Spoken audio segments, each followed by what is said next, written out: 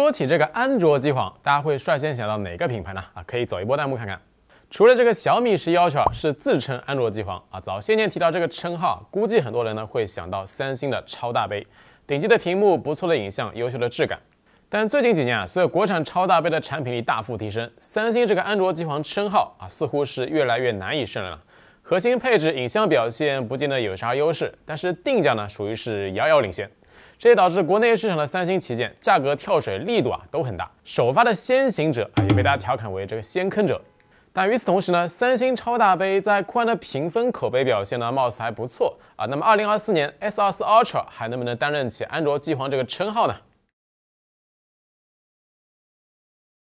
从 S6 Edge 开始啊，三星的 S 系列每一代几乎都是曲面屏设计。但正当越来越多旗舰从直屏变弯的时候，这曲面屏推广大使自己呢却慢慢从弯变直了。前两代产品呢还有超大杯保持一下弯的特性啊，到了 S24 这一代，无论是中杯大杯还是超大杯，清一色直屏。机身正面呢是四角方正，四个圆角几乎是变成了 L 角。玻璃盖板边缘和中框衔接部分有一点二点五 D 微弧。显示区域和常规直屏呢几乎是没啥区别啊，加上屏幕黑边进一步缩减，视觉观感确实很不错。你甚至还能给这块屏幕贴上大米评测推出的超薄微弧钢化膜，爽滑涂层，持久顺滑。贴完之后只要重新录入指纹，解锁速度呢也没啥影响。这里呢大伙也可以聊一聊旗舰机的屏幕形态，直屏和曲屏，你更喜欢哪种形态呢？正面另外一个变化呢就是屏幕新增了抗反射涂层啊，可以大幅降低屏幕的反光。在光源比较密集的办公室场景啊，屏幕的可读性呢有不少提升。当然，这个抗反射涂层啊并不耐刮，裸机使用呢需要小心一些，要不然容易留下一些细小的划痕。贴一般的钢化膜或者软膜也会失去抗反射涂层的效果。所以，如果你既想要保护涂层，又要保证效果，那么得加钱。后盖设计延续了前两代 Ultra 的风格，摄像头单独凸起，垂直排列，在一众大型奥利亚后摄造型里面，辨识度和美观度表现呢都不错，尤其是在横屏玩游戏的时候啊，感知呢会比较明显。边框从上一代铝合金升级到磨砂钛合金啊，边缘弧度呢降低了些，变得更加平直。不过需要注意的是，卡托和 S Pen 的笔帽材质并不是钛合金，耐刮程度呢是不如边框的。总体来看，S24 Ultra 在整体的颜值质感这一块确实很顶啊，符合它万元机的定位。但与此同时，握感确实也很顶，尤其是这个接近 L 型的边角，甚至呢顶得有点疼。那满分十分，你会给这台机的 ID 设计打几分呢？可以走一波弹幕。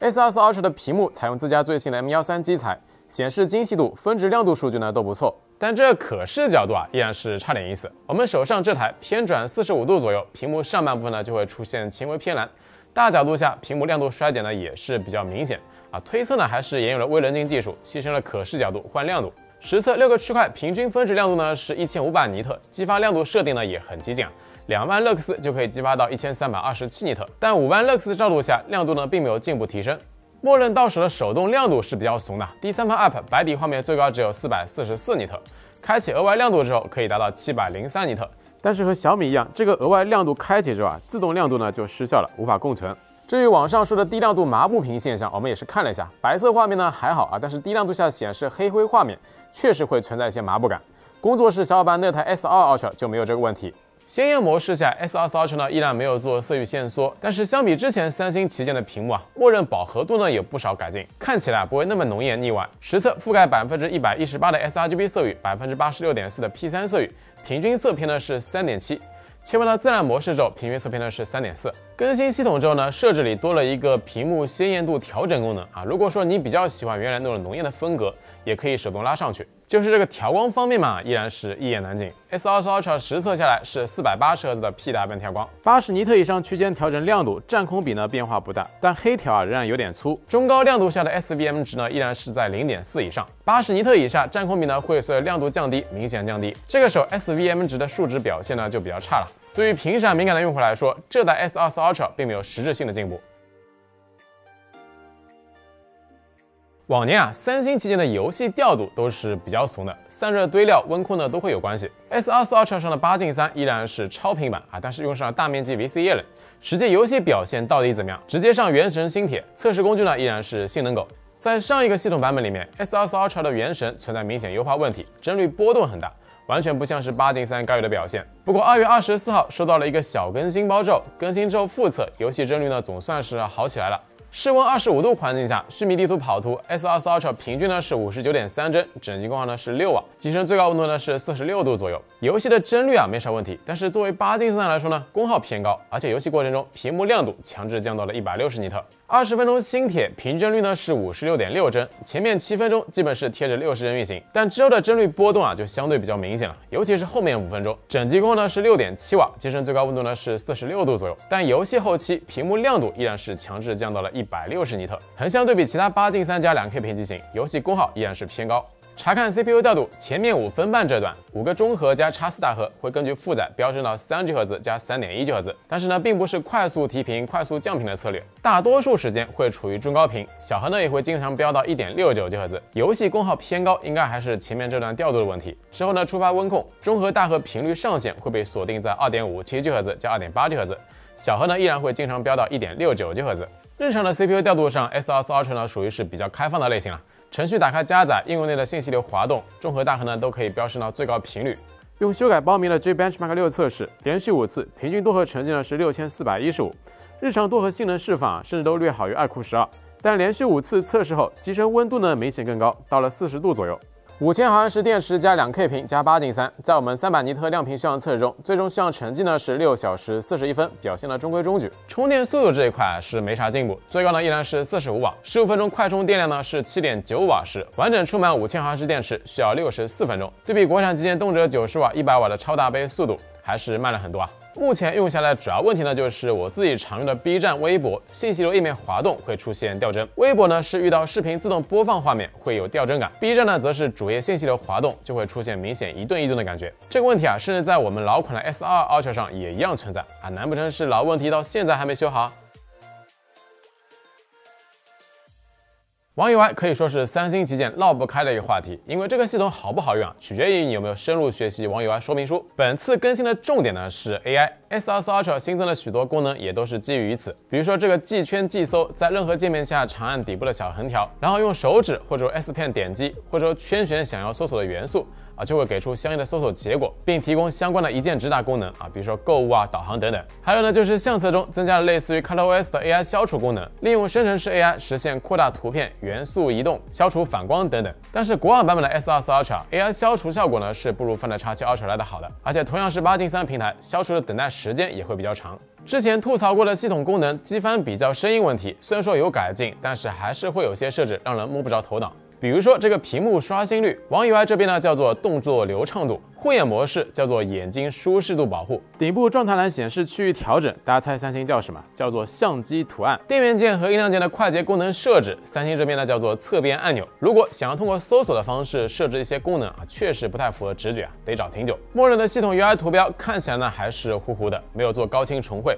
啊，属于是网 UI 的老传统了。而内置的主题市场质量呢又不太行，现在国内定制系统普遍都有的大文件夹，在网友爱上呢依然是没有。当然，对于熟读网友爱说明书的用户来说，通过各种官方插件啊，确实呢也能够让系统体验更上一层楼。很多你能想到的、不能想到的都可以实现自定义。比如说啊，系统默认给到的侧滑手势功能，只能单一的进行返回操作。在 Good Lock 中下载 One Hand Operation 插件，侧滑快捷功能就能瞬间多出十几种。习惯之后呢，能够有效提升手势操作的效率。默认设置无法隐藏桌面的应用名称，在 Good Look 中下载 Home Up 插件，不仅可以隐藏桌面应用名称，还能控制桌面背景的模糊程度。系统默认的音量条功能很单一，在 Good Look 中下载 Sound Assistant 插件，你就拥有了单应用音量调节、音量条的大小调整，还有变声器等各种功能。如果你觉得音量条不好看，还可以更改音量条的颜色，或者说把音量条设置为五彩斑斓的杀马特风格。反正啊，默认设定下，网 UI 呢确实不适合大多数普通用户。但如果你愿意折腾下各种插件啊，这个系统的自定义程度啊确实很强。另外，诸如小窗模式、大爆炸、各种权限管理啥的也都有，系统广告数量也会相对少些。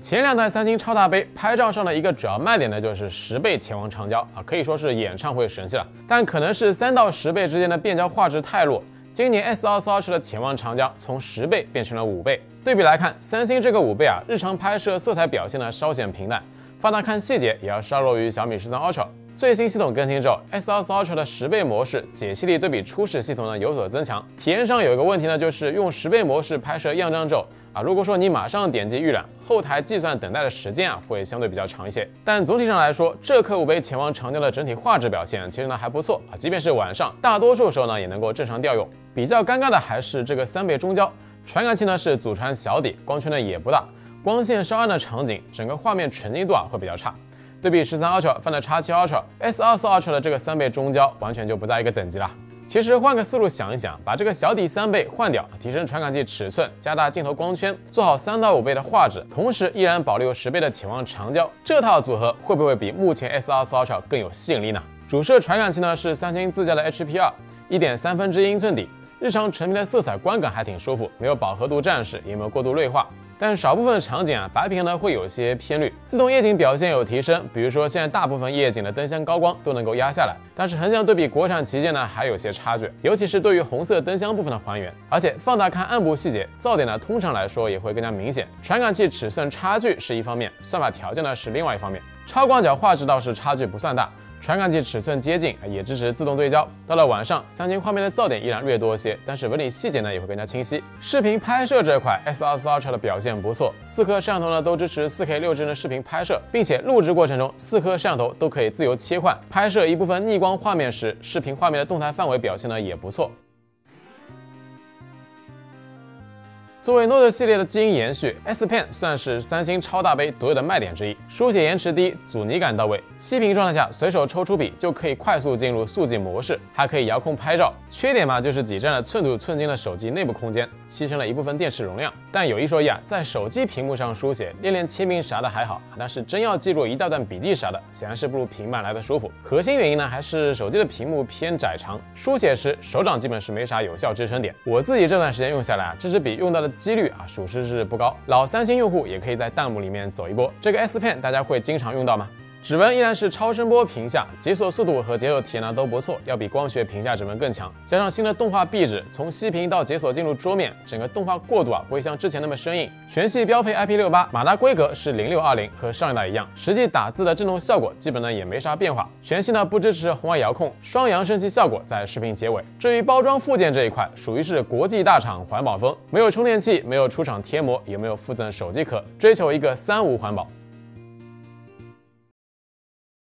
那么简单小结吧，作为目前售价最贵的八进三常规旗舰，S24 Ultra 的整体做工质感依旧是顶级的，尤其是今年这个钛灰色啊，确实做的很有高级感。再加上视觉边框更窄的直屏，把这个机子放在一堆奥利奥加曲面屏的机型里面，辨识度确实是直接拉满了啊。缺点呢是方正的机身握感比较顶手，屏幕显示精细度、亮度表现呢都 OK，但是屏幕视觉色偏、亮度衰减问题依旧。四百八十赫兹的低频 PWM 调光，对于频闪敏感的用户来说也是没啥进步。这个 S Pen 啊，对于部分用户来说可能是个亮点，但是对于大多数用户来说，多一支笔更多的只是多一支笔啊，并不会成为日常用机的刚需，反而是这个超声波指纹体验啊，感知会更强些。所以，如果你的需求是找一台相对小众，同时气质非常符合顶级旗舰的机子，S24 Ultra 呢是一个值得考虑的对象。但是按照这个标准去选的话，好像降价跳水之后的 S23 Ultra 会更加合适啊。外观差不多，八进二的性能依然够，还独有一个十倍长焦卖点。但如果不是这个需求出发点，那么如今的 S24 Ultra 确实已经很难撑起安卓机皇这个称号了。或者说，它和苹果一样，在国内这种竞争环境里面，很难体现与之高价位对应的产品力。比如说这个拍照有提升，但是对比这两年疯狂卷影像赛道的国产超大杯，依然有差距。祖传的四十瓦快充，充电速度有点拖后腿，没有红外。